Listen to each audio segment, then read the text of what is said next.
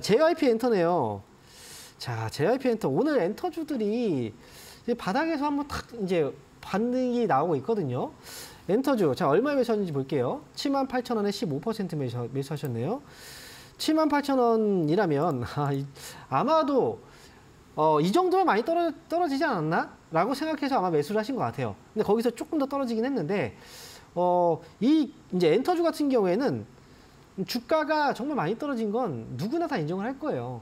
근데 요즘에 보면은 이제 엔터주들이 이 하락한 하락에 대한 이유가 아예 없지는 않아요.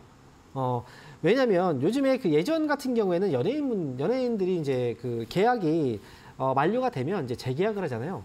재계약을 하면 이제 거기서 조건만 조금 더 뭐 해서 어, 좋게라든지 해서 재계약을 한단 말이죠.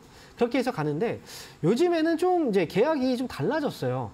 어, 그룹이라고 하면 그룹 활동에 대한 계약을 계약에서 끝나는 게 아니라 어, 그룹 활동 계약은 그냥 유지를 그냥 한 채로 어, 솔로 활동을 따로 하는 경우 따로 이제 차려서 하는 경우들이 요즘에 좀 약간 트렌드처럼 자리를 잡고 있어서 그렇다고 한다면 그, 에- 그 소속사의 아티스트들은 남아 있긴 하지만 이익이 좀 나눠지는 거잖아요. 그에 대한 불안감이 좀 많이 커지고 있다는 거죠.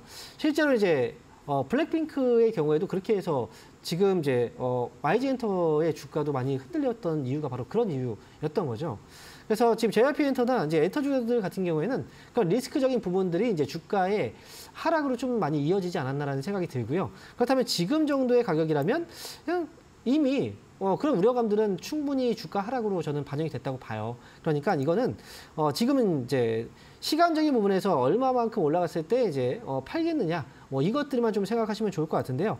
일단은 목표 주가는 JYP 엔터의 경우에는 10만 원 정도까지 목표 주가를 성이 설정해 놓고 하신다면 저는 괜찮을 것 같으니까요. 이거는 어, 10만 원 목표 주가로 그리고 그때 어, 정리하고 나오셔도 괜찮을 것 같습니다. 자, 그래서 목표 주가 10만 원 제시해 드립니다.